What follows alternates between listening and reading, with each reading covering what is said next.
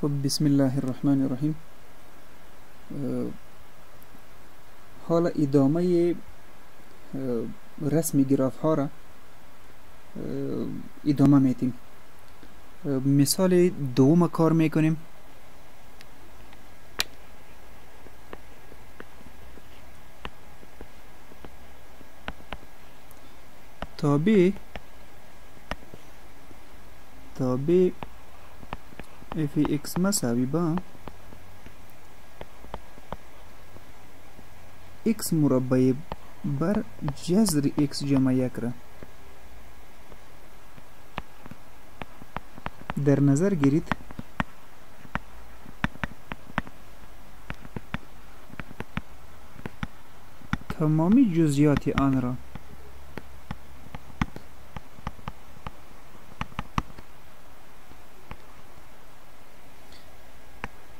دریافت نموده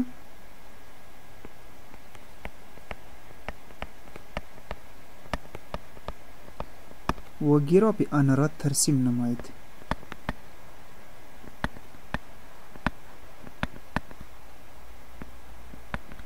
خب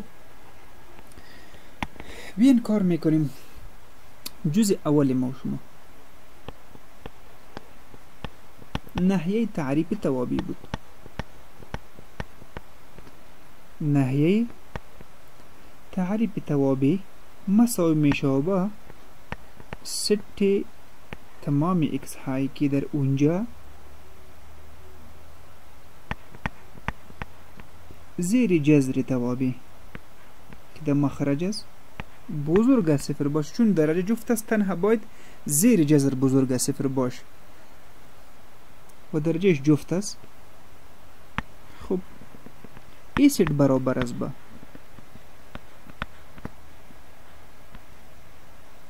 سیت تمام ایکس هایی که او شرط داشته باشه یعنی ایکس جمع یک بزرگ صفر باشه ایکس بزرگ از چند است ایکس بزرگ از منفی یک است خب یش کارس ای برابر است به چند چون یک در بر نمیگیره از منفی یک شروع تا به طرف بی نهایت این نحیه تعریف توابع هست ب نقاط تقاطع از تابع دیده میشه وقتی که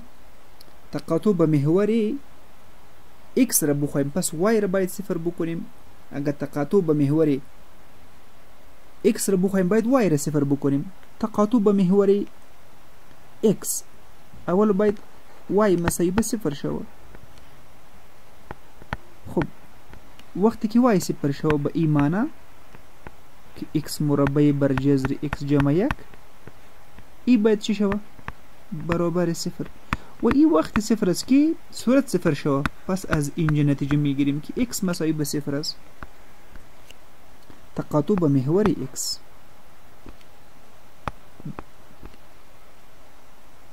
تقاطع به محور وای پس اکس را باید صفر بکنیم وقتی که ما در او رابطه اکس به جای اکس اینجا صفر بگذاریم پس میشه صفر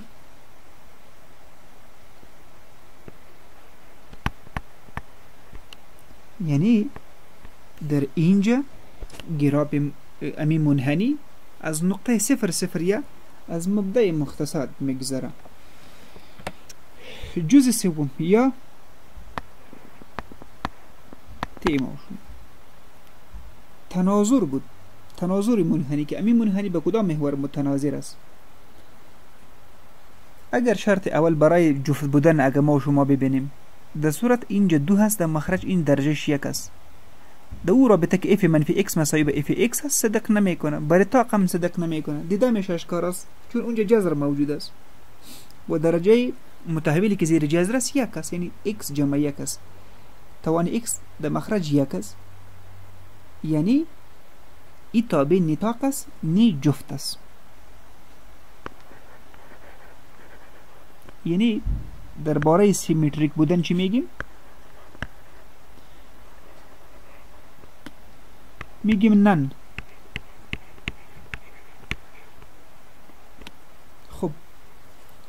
یعنی نی به محور وای متناظر است نه به مبدأ خب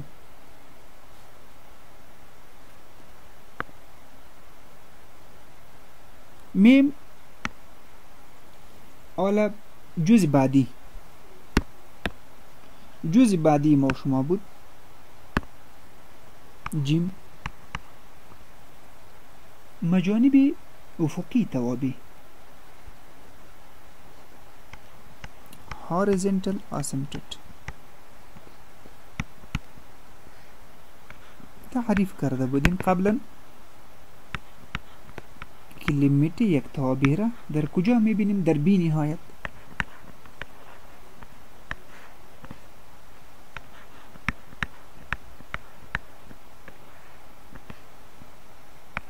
درجه صورت اضافه تر است پس اشکار است که این لیمیت بی نهایت میشه پس از اینجا میگیم که مجانب افقی نداره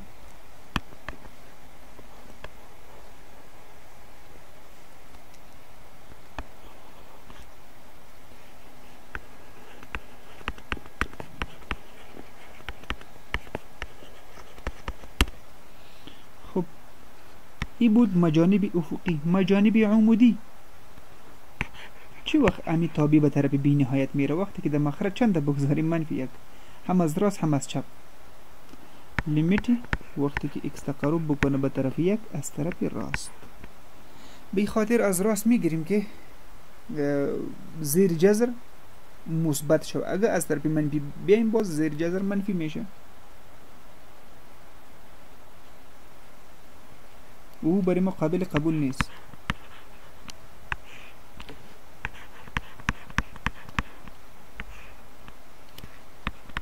برابرشان می برابر بی نهایت از اینجا نتیجه میگیریم که x مساوی به منفی یک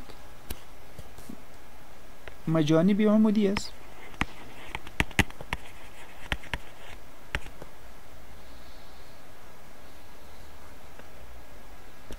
x مساوی به منفی یک خب این خلاص شد جز بعدی جز بعدی تعیین کردن انتروال تزاید و تناقص است برای دریافت انتروال تزاید و تناقص مشتق اول میگیریم یو زبر ضربوی منفی وی زبر ضربوی بر مخرج مربع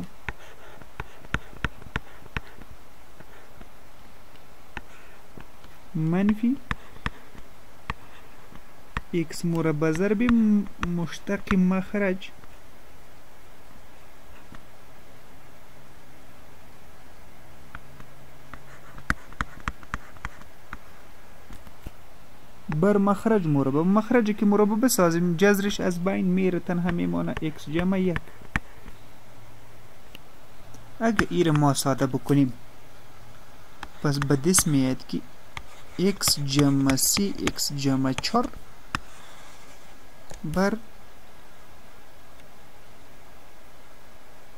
دوچند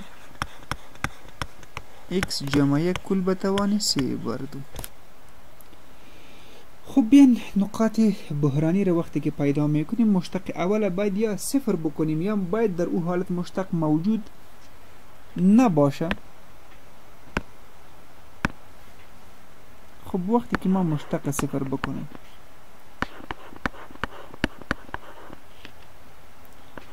از اینجا به دس میاد که یا اکس اگه صفر شوه اکس اگه صفر شوه ای ده صفر میکنه صورت پس ما کل کسر صفر میشه و ای اکس مساوی به صفر در کجا شامل است در نهیه تعریف نهیه تعریف ما شما از من یک تا به بی نهایت بود خب یا گفتیم که نقطه بحرانی یا عدد بحرانی عبارت از عددی است که در اونجا مشتق یا صفر یا موجود نباشه چه وقت موجود نیست وقتی موجود نیست که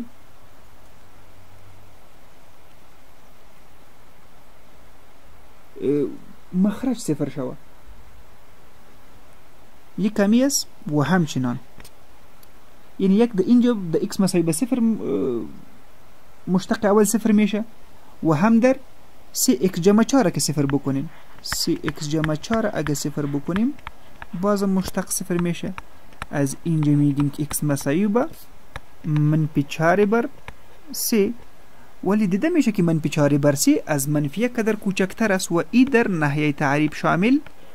نیست پس یک کریکتیکل نمبر یک عدد بحرانی داریم ما و شما که او عبارت از چند است او عبارت است از x مساوی به صفر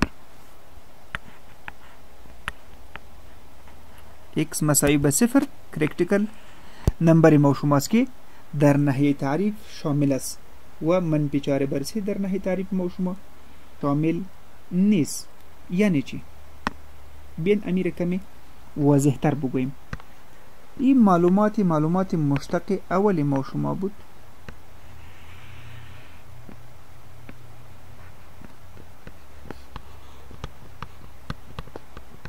من بی بی نهایت از ای طرفشم نیز مثبت بی نهایت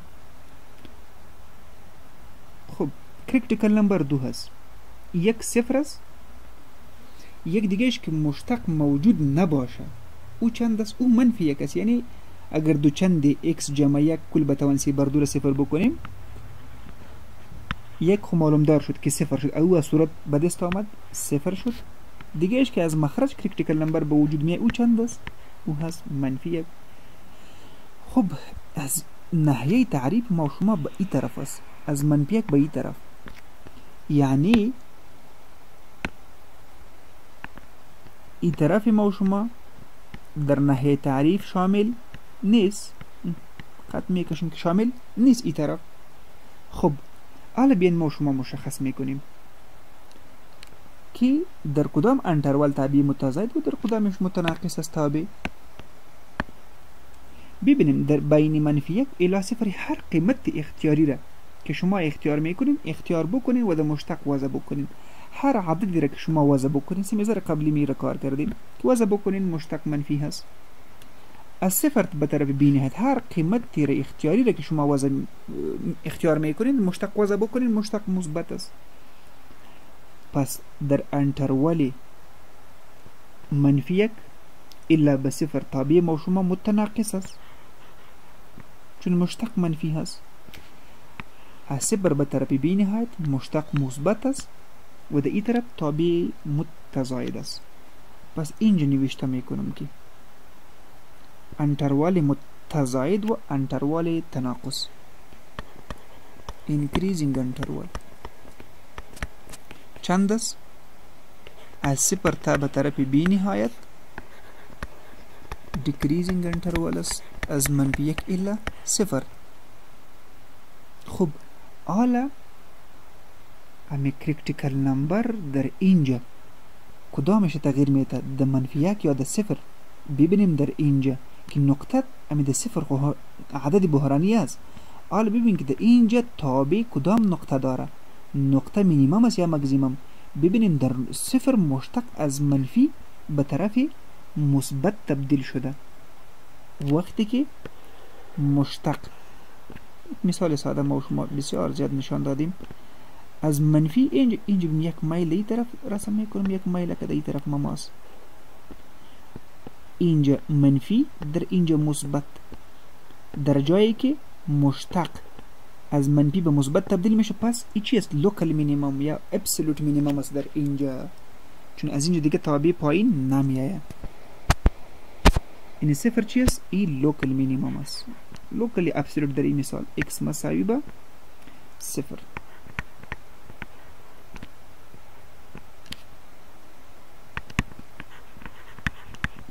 لوکل مین لوکل مینیمم است لوکل مینیمم خب ایم پیدا شد ای انتروال تزاید ای انتروال تناقص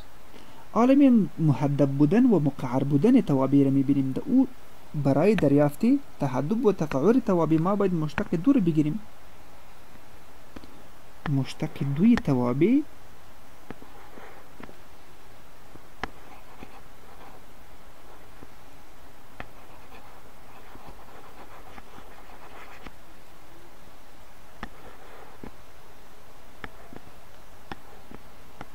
مشتق دوم توابع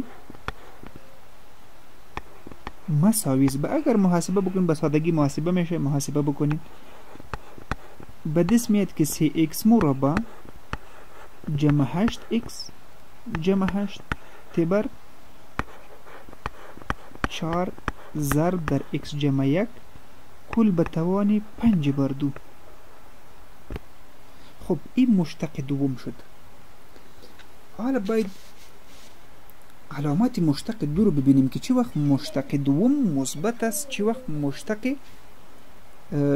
دوم منفی هست خب در اینجا دیده میشه اول باید صورت ببینیم آیا صورت منفی هست یا صورت مثبت است بین دلتای ازی را ببینیم دلتای ازی را میبینیم دلتای ازی را اگه ما محاسبه بکنیم دلتا مساوی به چند میشه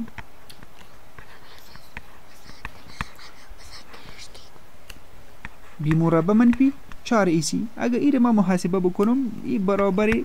منفی سی و دو هست منفی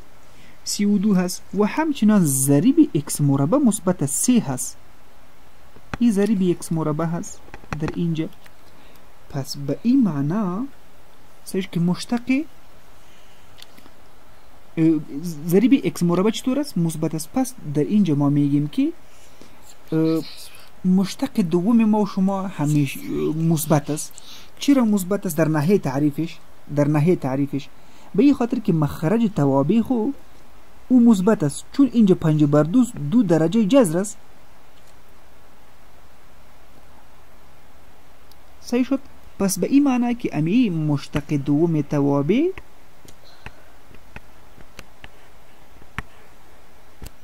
مثبت است در کجا در نحیه تعریف خود این نحیه تعریف از منفی یک به بعد شروع میشه از منفی یک به بعد پس هر قیمتی که بیتین او قیمتی مثبت مخرج میگیره برای خود مخرج منفی نمیشه از منفی یک به طرف مثبت بی نهایت ب... چی وقت مثبت است برای هر اکسی از ناحیه تعریف توابی که برابر چند است برابر انتروال باز از منفی یک تا به بی نهایت است یعنی از این انتروال که در مخرج هر قیمت فرد مخرج مثبت است پس صورت خو همیشه هست مثبت چون دلتا منفی است ضریب اکس مربع مثبت است مثبت تقسیم مثبت مثبت میشه پس مشتق دوم در ناحیه تعریفش همیشه مثبت است پس از اینجا ما چی نتیجه ای میگیریم از اینجا نتیجه میگیریم که از اینجا نتیجه میگیریم که توابع در ناحیه تعریف یعنی از منفی یک تا به مثبت بی نهایت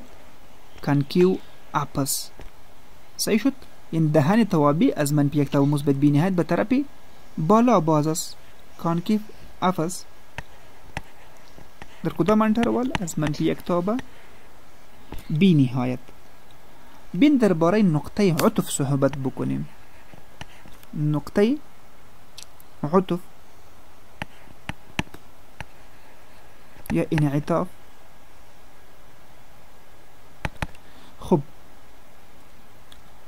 ببینیم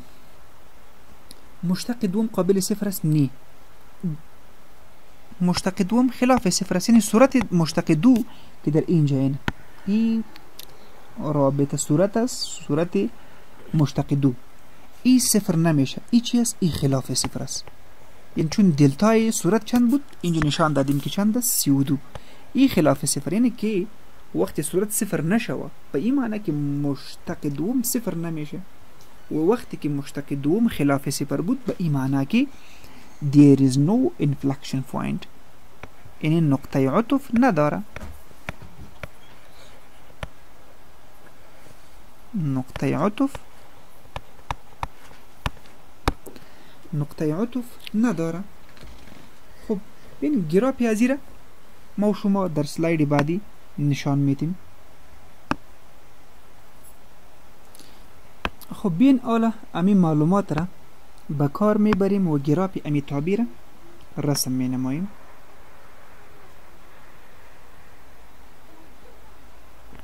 محور وای ها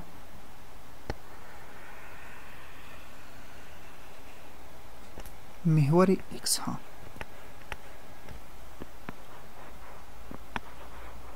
خب نهی تعریف توابع از منفی یک به طرف بی نهایت بود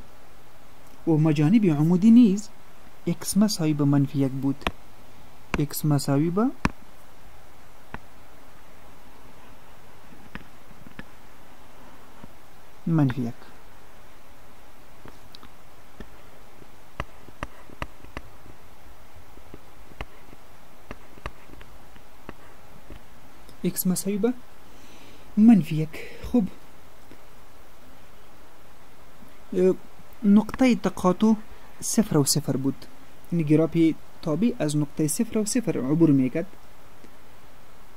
همچنان ما دیدیم که مجانب افقی نداره و تابع در انترول منفی یک الا صفر متناقص نبود متناقص است و همزمان ما شما در گراب معلومات مشتق یک و دو را همزمان به کار میبریم یعنی در انتروال منفی یک الا صفر تابع متناقص بود و در امی انتروال تابع دهنش به طرف بالا بود یعنی کنکی و اپ بود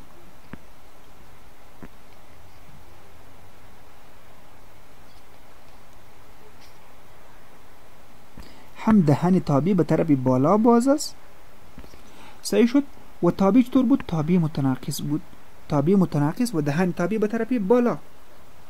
همچنان از صفر الا به طرف بی نهایت صفر به طرف بی نهایت تابع ما شما متزاید بود تابع متزاید بود و همیشه کانکیو اپ از دهان توابع به طرف بالا باز است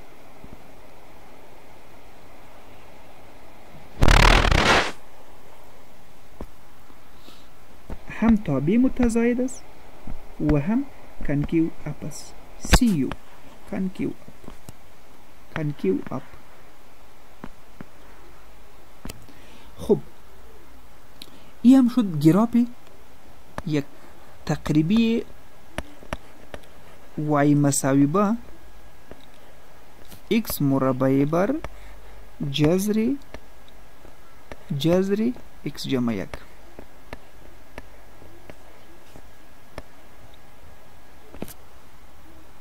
نقطه عطف نداشت همیشه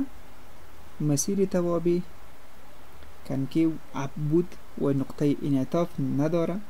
تنها یک نقطه مینیمم بود که عبارت از نقطه صفر صفر بود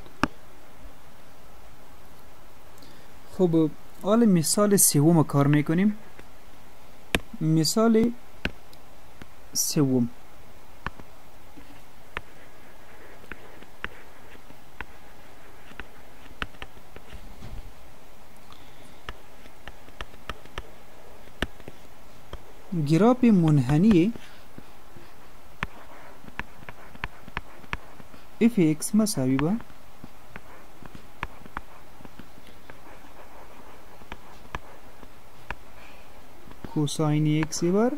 دو, دو جمع ساین ایکس را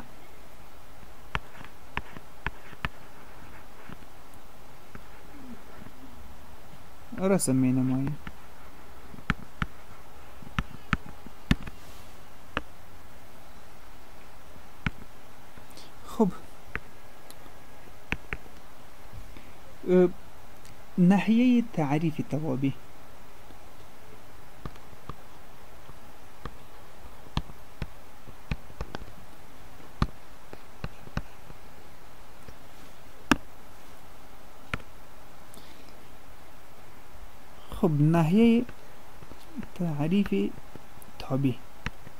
چی هست بین ببینیم مخرج نگاه بکنیم مخرج دو جمع ساین اکس است قیمت ساین x بین منفی یک و مثبت یک است یعنی هیچ وقت بزرگ از مثبت یک و کوچک از منفی یک نمیشه پس دور همراه مثبت یک یا منفی یک اگه جمع بکنیم او مثبت است پس ناحیه تعریف توابی هر قیمتی را که شما به ساین ایکس بتین و دور امرش انجام بکنین مخرج اشکار است معلوم است و یک عدد مثبت است پس ناحیه تعریف توابی تمام اعداد حق یعنی هر قیمتی را که شما برای ایکس بتین تابع اشکارا هست یک چیزی مشخص است ب نقاط تقاطع اگر بخواهیم که نقطه تقاطع به محور وای را دریاب بکنیم پس x چه میکنیم x مساوی به صفر وضع می نماییم از اینجا نتیجه میشه که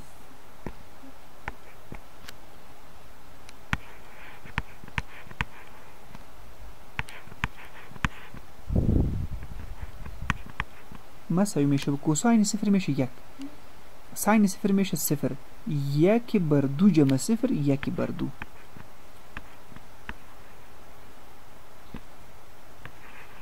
یک بر دو همچنان تقاطع به محور اکس پس وای را صفر میکنیم اگر وای را صفر بکنیم به ایمانا که کوساین ایکس بر دوچند جمع ساین ایکس ای را صفر بکنیم خب ای چی وقت صفر میشه وقت صفر میشه که کوساین ایکس مساوی صفر شود از اینجا معادله که حل از این معادله کوساین ایکس چی وقت صفر میشه وقت صفر میشه و که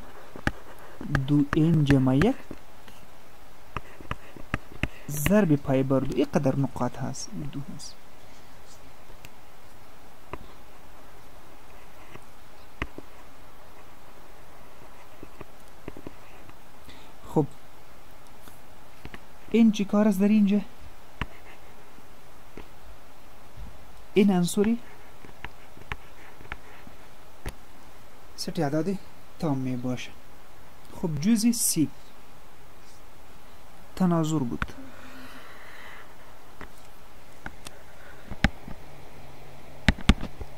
تناظر یه دیده می شود که این تابع نی جفت است و نی ای تابع تاق است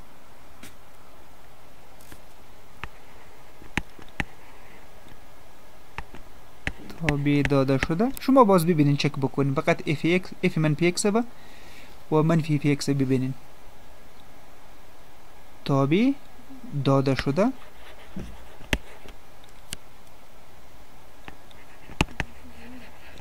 نه جفت و نطاق است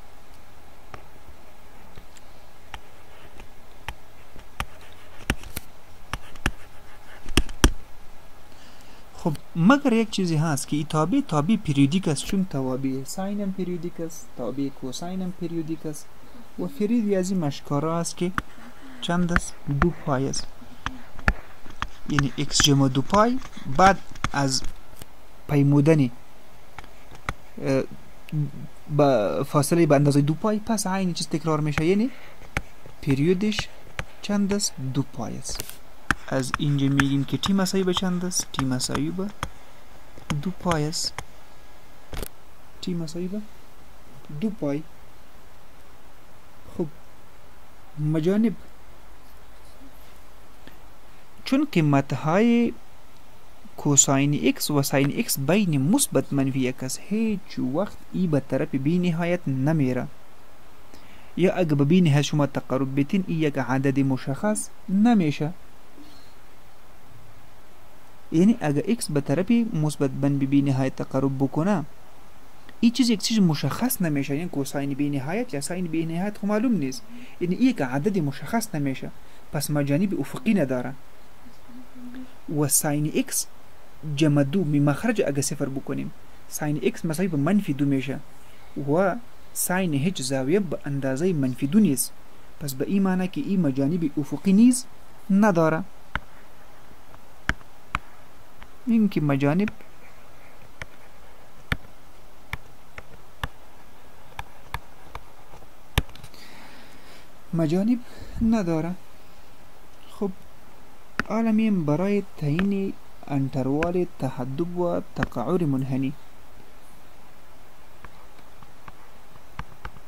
خوب برای انتروال تزاید و تناقص اولا مشتق اول را در نظر میگیریم و محاسبه میکنیم مشتق اول مساوی میشه و با چون تابع کسری هست از فرمول خارج قسمت یا حاصل تقسیم استفاده میکنیم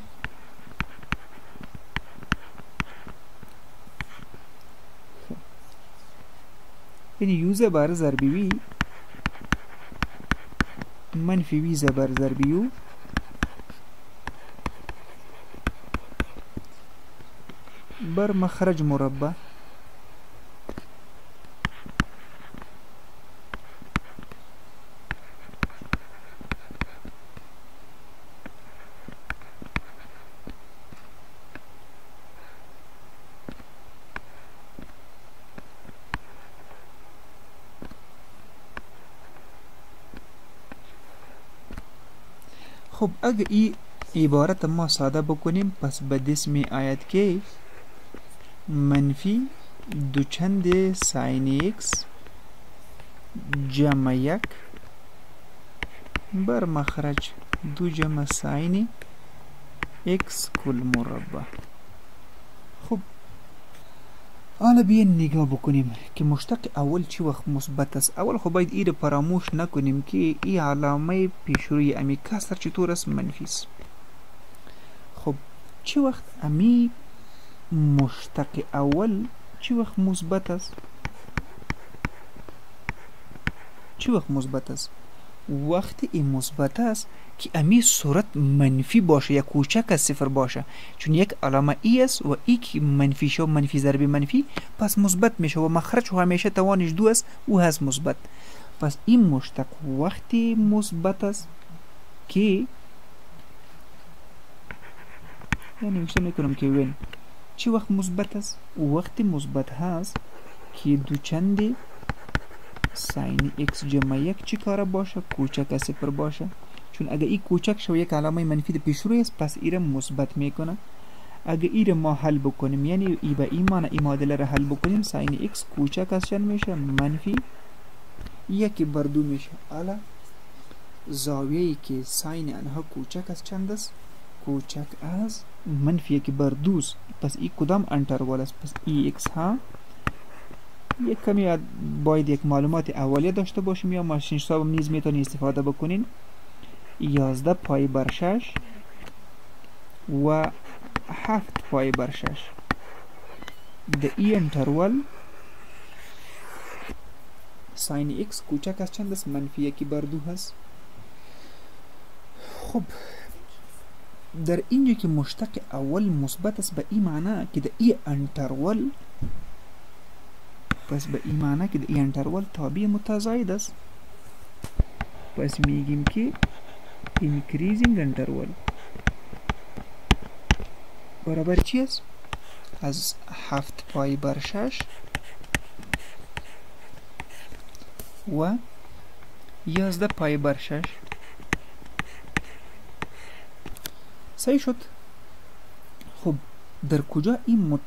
ته ناقص است چی وخت مشتق اول کوچک از صفر است Decreasing Interval وقتی مشتق اول کوچک است که سرعت مثبت باشه پریود خود چی هست پریود دو پای است بین انترول هفت پای بر شش و یازده پای بر شش در اینجا متزاید است بین ازی بیرون ازی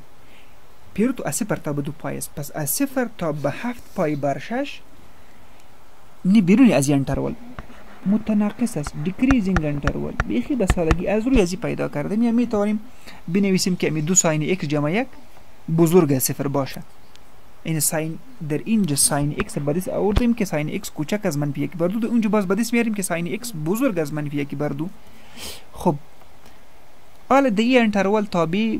متزاید است متناقص د بیرونی ازی است یعنی از صفر گرفته تا به کجا صفر تا به هفت پای بر شش این و اتحاد به از ای یازده پای بر شش الا به دو پای یازده پای بر شش الا دو پای بیرون ازی شد ای انتروال تنقص امی تابع هست یا امی را نشان میتم اور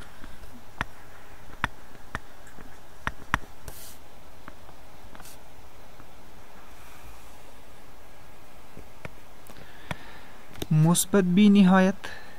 ای طرف هم نیز منفی بی نهایت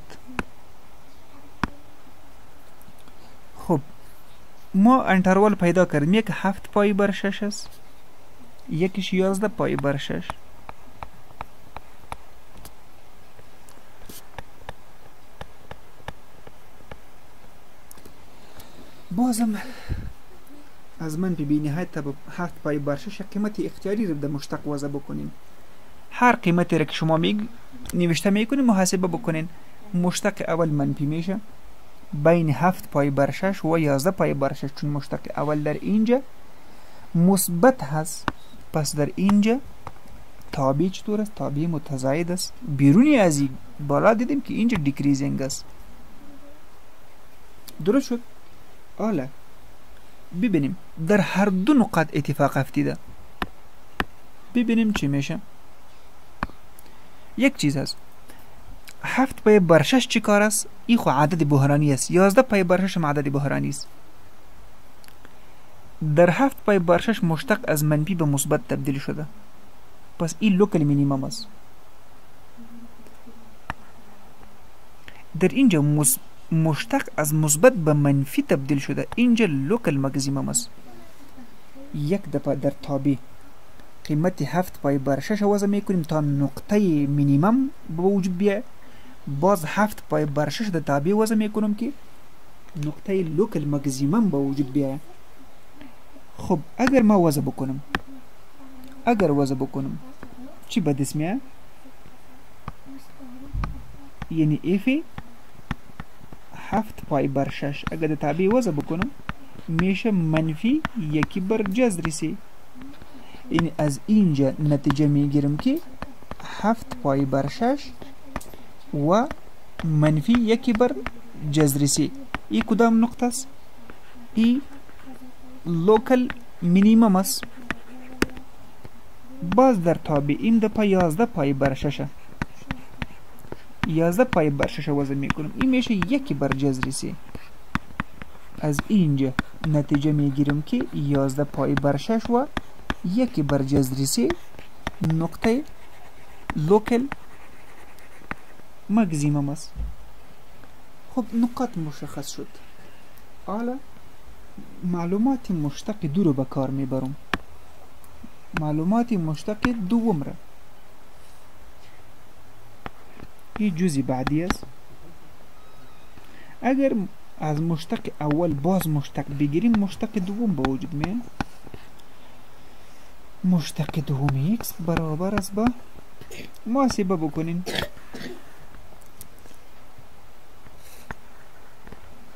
دوچند کوساین ایکس یک منفی ساین ایکس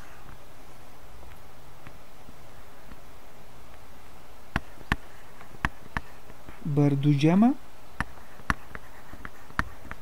ساین ایکس کل بتوانی سه خب در اینجا دیده میشه که در مخرج دو جمع ساین اکس قبلا گفتیم که قیمت ساین یک بین یک و منفی یک است پس دو بزرگتر از اوست پس مخرج عدد مثبت میشه توان طاق است عدد مثبت به توان طاق باز یک عدد مثبت است یعنی چی کار هست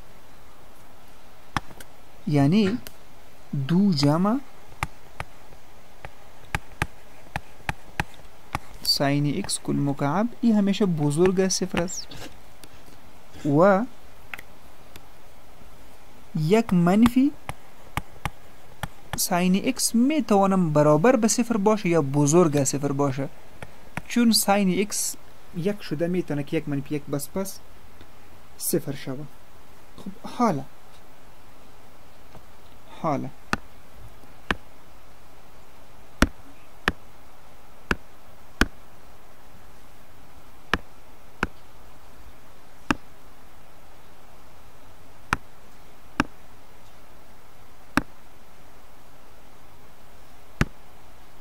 خب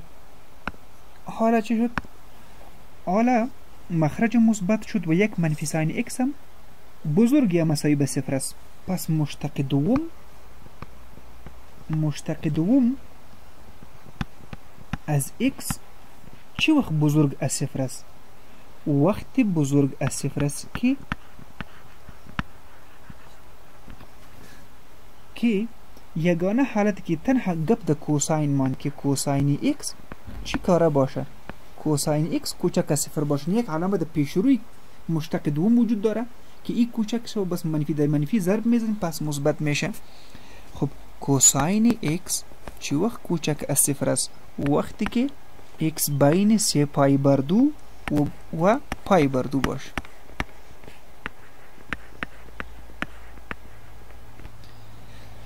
خب از اینجا چی نتیجه میگیریم از اینجا نتیجه میگیریم که اف چی است اف کانکیو اپ است یعنی دهنش به طرف بالا باز است کدام انتروال د بین انتروال بالایی یعنی پای بر دو و سه پای بر دو د بیرونی ازی چون پریود اسه پر تا به دو پایس د بیرونی ازی کانکیو ډاون اس د کجا د بیرونی ازی یعنی اسه پر تا به ای نقطه اتحاد با از سه پای بردوک تا به آخر پریود تا دو پای سه پای بردو الا دو پای در اینجا و دهنش به طرف پایین است و در اینجا دهن تابع به طرف بالا هست نقاط عطف توابع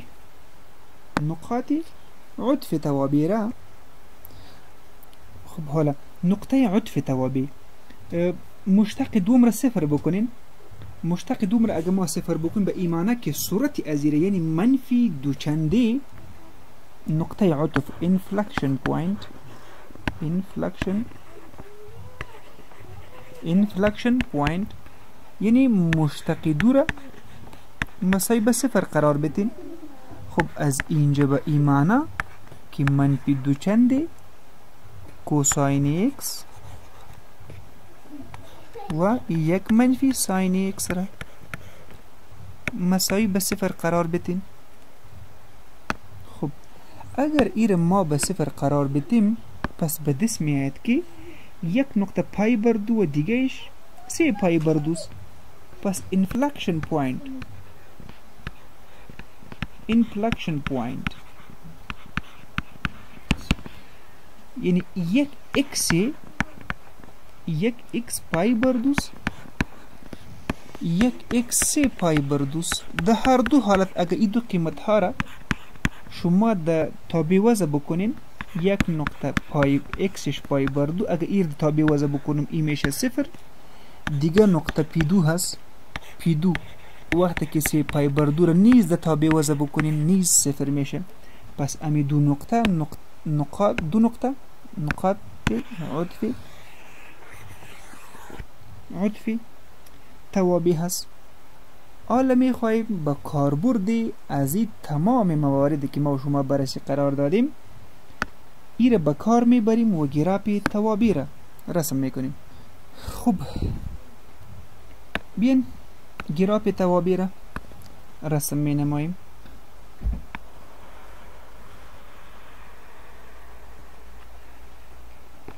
محور وایها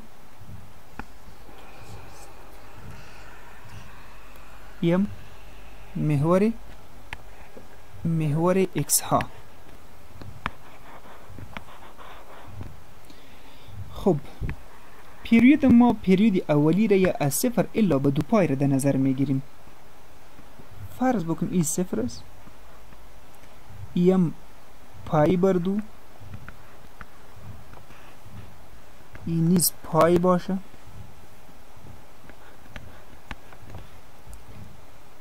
ای طرف نیز سه پای بر دو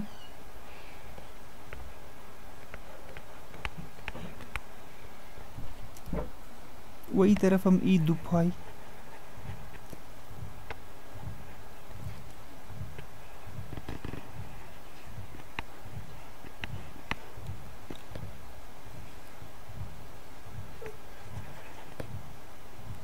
این یز دو پای است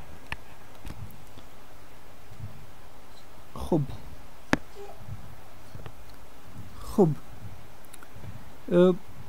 اول دیدیم که محوری واید وقتی که اکس صفر کردیم وای در چند قطع کرد در یکی بر دو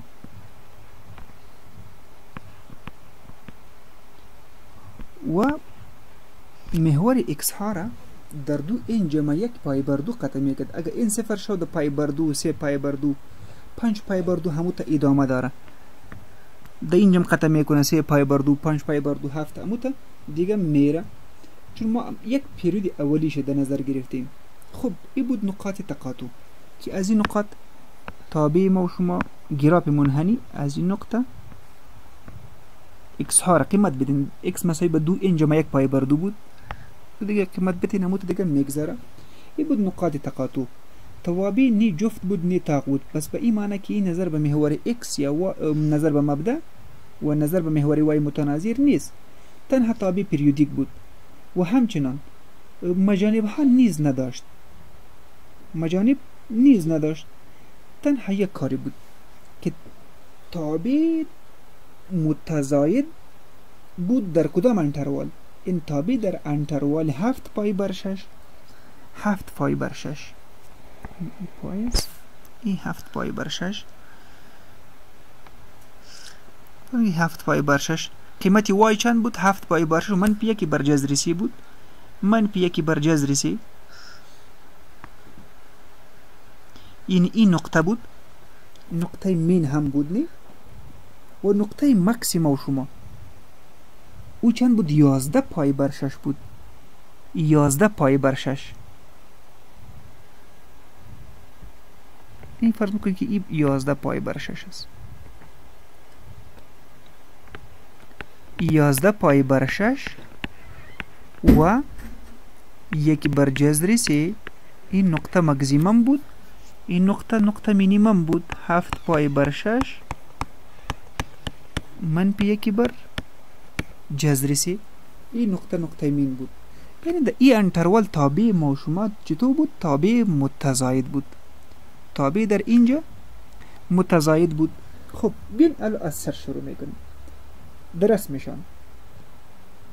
بین انټروال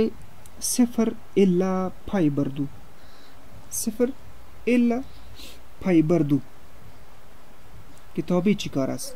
تابع متناقص است و همچنان دهن تابع به طرف پایین باز است معلومات مشتق اول و دور همزمان به کار میبریم هم کانکیو داون است و هم تابع متناقص است بین پای بردو پای بردو الا سه پای بردو دهن توابی به طرف بالا باز است به طرف بالا و همچنان تابی از پای بردو الا هفت پای بارشش تابی چطور است تابی تابی متناقص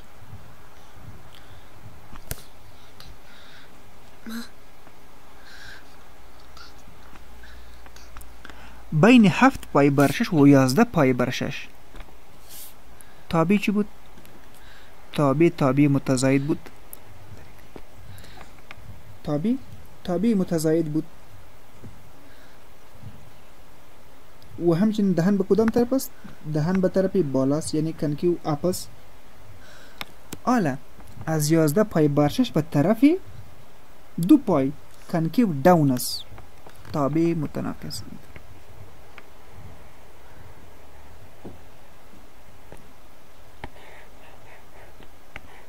هم متناقض هم به طرف